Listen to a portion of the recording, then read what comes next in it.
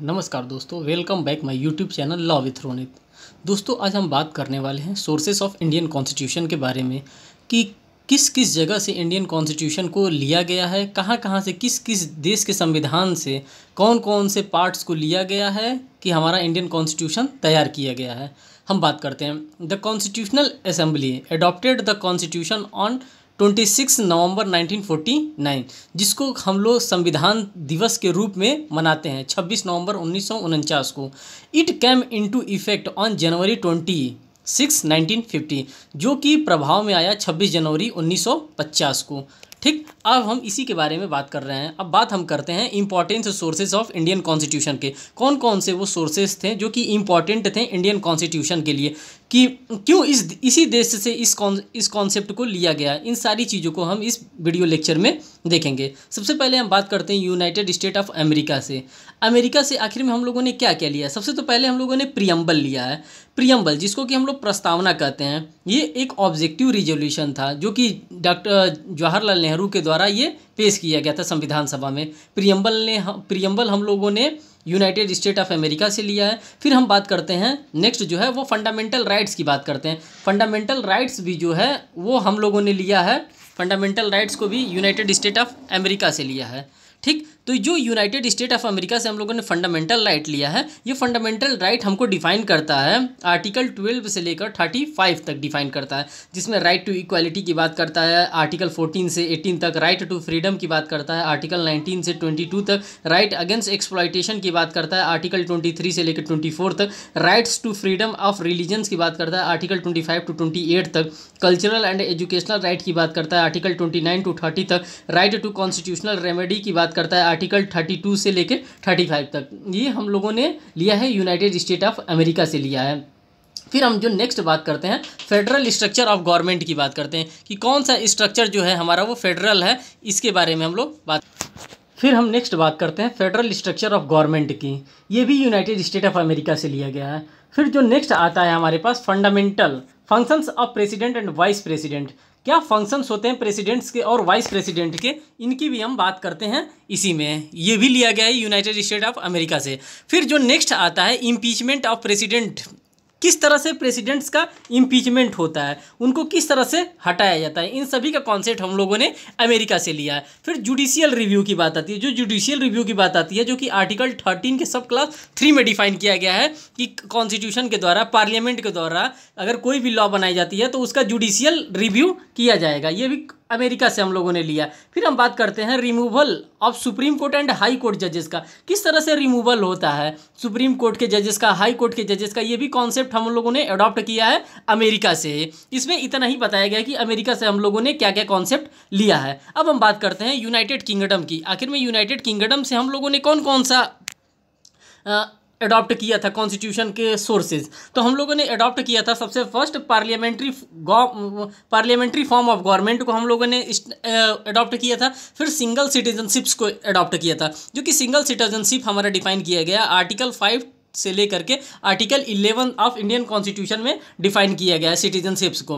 फिर rule of law को define किया गया है आर्टिकल फोर्टीन में जो कि डिफाइन किया गया है rule of law equality before law और the equal protection of the law इसमें बताया जाता है आर्टिकल फोर्टीन में। फिर उसके बाद से बाइक कैमरलिज्म की बात की जाती है बाइक कैमरलिज्म भी यूनाइटेड किंगडम से ही हम लोगों ने क्या किया है? अडॉप्ट किया है। फिर आगे हम बात करते हैं कनाडा की। आखिर में कनाडा से हम लोगों ने क्या क्या अडॉप्ट किया है? और अडॉप्ट करते समय इसमें क्या क्या बातें हम लोगों ने कनाडा से हम लोगों ने सीखा है। सबसे तो पहले हम बात करते हैं क्वासी फेडरल ऑफ़ गवर्नमेंट की।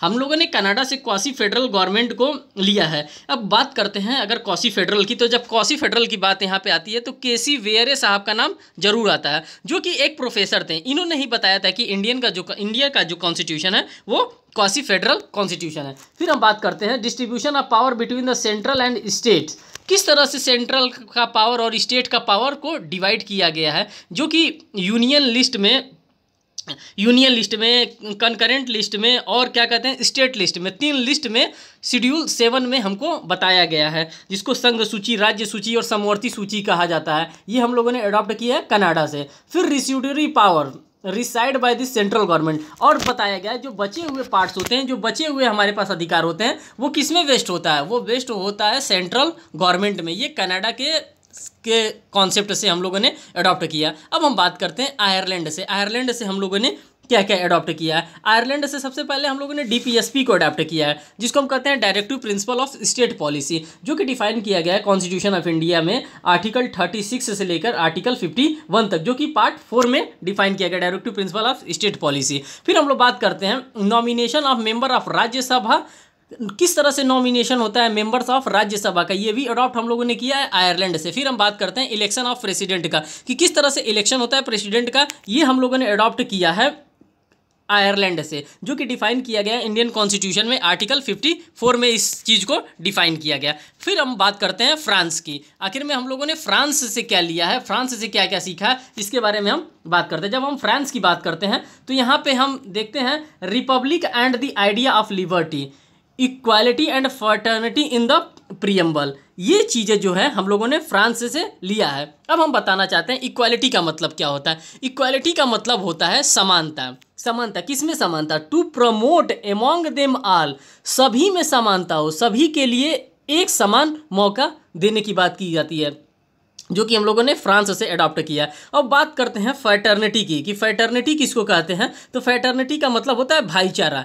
Assuring the dignity among all the individuals जितने भी लोग हैं, सब में भाईचारे का बंधुत्व की भावना यहाँ पे जागृत हो। इसी की बात की गई है कॉन्स्टिट्यूशन ऑफ़ इंडिया में, और ये लिया गया है फ्रांस के कॉन्स्टिट्यूशन से। अब हम बात करते हैं कि गवर्नमेंट ऑफ़ इंडिया एक्ट से आखिर में क्या क्या लिया गया गवर्नमेंट ऑफ़ इंडिया एक्ट जो सबसे बड़ा एक्ट था हमारा, उससे हम लोगों ने क्या क्या अडॉप्ट किया गवर्नमेंट ऑफ़ इंडिया एक्ट से? तो जो हम बात करते हैं गवर्नमेंट ऑफ़ इंडिया एक्ट की 1935 से तो गवर्नमेंट ऑफ़ इंडिया एक्ट से हम लोगों ने लिया है फेडरल स्कीम को।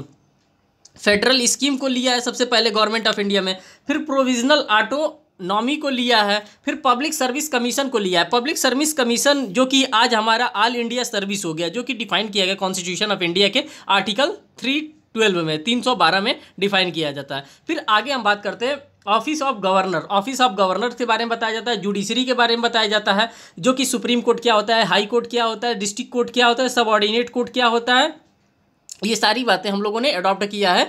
1935 के government India act, Indian government of India act 1935 से। फिर एडमिनिस्ट्रेटिव डिटेल्स को हम लोगों ने भी अडॉप्ट किया गवर्नमेंट ऑफ़ इंडिया एक्ट 1935 से। अब हम बात करते हैं साउथ अफ्रीका की, कि साउथ अफ्रीका से हम लोगों ने क्या क्या अडॉप्ट किया था। तो साउथ अफ्रीका की जब बात आती है तो साउथ अफ्रीका में सबसे पहले तो procedure for amending of the constitution. किस तरह से अमेंड किया जाता है? अमेंडमेंट को हम लोगों ने अडॉप्ट किया है। क्योंकि जो अमेंडमेंट का पावर होता है, वो साउथ अफ्रीका के द्वारा ही हम लोग लिए हैं, जो कि डिफाइन किया गया आर्टिकल 368 में। जो कि 368 में इस प्रकार का प्रोविज़न दिया है कि कॉन्स्टिट्यूशन ऑफ़ इंडिया में किसी भी चीज़ को 368 से क्या कर सकते हैं? रिमूव कर सकते हैं अमेंड कर सकते हैं। फिर इलेक्शन ऑफ़ राज्यसभा के बारे में भी साउथ अफ्रीका से हम लोगों ने अडॉप्ट किया है। फिर हम बात करते हैं जर्मनी के वीमर कॉन्स्टिट्यूशन से क्या हम लोगों ने लिया। जर्मनी के वीमर कॉन्स्टिट्यूशन से हम लोगों ने इमरजेंसी का प्रोविज़न लिया है, जो कि कॉन्स्टिट्यूशन ऑफ़ इंडिया में डिफाइन किया गया आर्टिकल 352 से लेकर 366 तक 360 तक, और जो कि है पार्ट फिफ्टीन पार्ट एट्टीन में हमको डिफाइन किया गया है इमरजेंसीज के प्रोविज़न फिर इसके बाद से जर्मनी के वीमर कॉन्स्टिट्यूशन से हम लोगों ने लिया है supervision of fundamental rights during emergency किस तरह से फंडामेंटल राइट्स वर्क करता है, किस तरह से सुपरविजन करता है, किस तरह से वो सस्पेंड हो जाता है, ये बातें हम लोगों ने लिया है जर्मनी के वीमर कॉन्स्टिट्यूशन से. फिर अब हम बात करते हैं सोवियत यूनियन से, सोवियत यूनियन से हम लोगों ने क्या लिया, जिसको हम लोग यूएसएसआर के नाम से हम लोग जानते थे। यहाँ से हम लोगों ने तीन चीज़ को अडॉप्ट किया पहले फंडामेंटल ड्यूटीज़ को अडॉप्ट किया है, फिर ideal of social social economic and political justice in preamble जो बात की जाती है, जो प्रियम्बल में बात की जाती है जस्टिस क्या होता है, लिबर्टी क्या होता है, इक्वलिटी क्या होता है, फर्टेनिटी क्या होता है और रिपब्लिक क्या होता है, ये सभी सभी कॉन्सेप्ट को हम लोग यूएसएसआर के कॉन्सेप्ट से लिया है। जस्टिस कैसा होना चाहिए? सोशल होना चाहिए, सामाजिक होना चाहिए इकोनॉमिकल होना चाहिए और पॉलिटिकल होना चाहिए। हमारे पास लिबर्टी कैसा होना चाहिए? थॉट का एक्सप्रेशन का बिलीफ का फेथ का वर्शिप का। ये सभी हमारा लिबर्टी होना चाहिए। बात करते हैं हम लोग इक्वालिटी की। इक्वालिटी कैसा होना चाहिए? सभी में बराबर होना चाहिए। सभी के साथ एक तरह का भाईचारा, इक्वलिटी होना चाहिए। स्टेट के द्वारा बताया जाता है। फिर फर्टेनिटी कैसी होनी चाहिए? फर्टेनिटी भी जो होनी चाहिए, जो भाईचारा, जो बंधुत्व भी होना चाहिए, वो भी एक जैसा होना चाहिए एक नेशन में। यही बात बताई गई है। अब हम बात करते हैं ऑस्ट्रेलिया के कॉन्स्टिट्यूशन से हम लोगों ने क्या लिया है। ऑस्ट्रेलिया से हम लोगों ने लिया है freedom of trade and economic with the country and between the state freedom of trade के बारे में हम लोगों ने लिया है कि किस तरह से फ्रीडम रखा जाएगा ट्रेड में, ये कॉन्स्टिट्यूशन में डिफाइन किया गया फिर हम लोग कॉन्करेंट लिस्ट की बात करते हैं। कॉन्करेंट लिस्ट जो कि शेड्यूल सेवन में हमको डिफाइन किया गया जो स्टेट लिस्ट में जो बातें रखा जाती हैं, जो यूनियन लिस्ट में बातें रखा जाती हैं, फिर भी जो बातें बचती हैं, वो कंकरेंट लिस्ट में रखी जाती हैं तो वो हम लोगों ने ऑस्ट्रेलिया की कॉन्सेप्ट से लिया है। फिर language of the parliament language of the preamble क्या लैंग्वेज होगा प्रियम्बल का? ये भी हम लोगों ने ऑस्ट्रेलिया के ही कॉन्सेप्ट से अडॉप्ट किया है कि क्या लैंग्वेज होना चाहिए हमारे कॉन्स्टिट्यूशन ऑफ़ इंडिया का। फिर नेक्स्ट हम बात करते हैं जापान के कॉन्स्टिट्यूशन से हमने क्या लिया है। जापान के कॉन्सेप्ट से हम लोग लोगों ने लिया है प्रोसीजर इस्टेब्लिश्ड बाय लॉ जो कि सबसे मोस्ट इंपॉर्टेंट होता है मेनका गांधी के केस से हम लोग रिलेट इसको करते हैं। मेनका गांधी से केस से इसलिए रिलेट करते हैं क्योंकि उसी में ये बातें बताई गई थी कि प्रोसीजर इस्टेब्लिश्ड बाई लॉ किस तरह से, किस प्रोसीजर को लॉ के द्वारा ही इस्टेब्लिश्ड किया जाना चाहिए। जो मेनका गांधी का केस था उसी में हमको बताया गया था, जिसमें पर्सनल लिबर्टी इक्वालिटी फर्टर्निटी हर एक चीज़ को अच्छे से डिफाइन किया गया था। तो दोस्तों, इतना ही था जिसमें हम, मैं बता रहा था कि क्या क्या सोर्सेज थे कॉन्स्टिट्यूशन ऑफ़ इंडिया के। तो अब मैं बताना चाहता हूँ, मैं उम्मीद करता हूँ कि आप लोगों को ये सेशन बहुत पसंद आ रहा होगा। इसी तरह से लीगल जानकारी प्राप्त करने के लिए आप हमारे चैनल पे विज़िट करें और हमारे चैनल को सब्सक्राइब करें और वीडियो को लाइक करें। और सबसे बड़ा काम ये करें कि आप लोग इसको देखने के बाद अपने फ्रेंड ग्रुप्स में इसको शेयर करें, जिससे कि उनको भी इस प्रकार की जानकारियाँ प्राप्त होती रहें। बहुत बहुत धन्यवाद दोस्तों। Thank you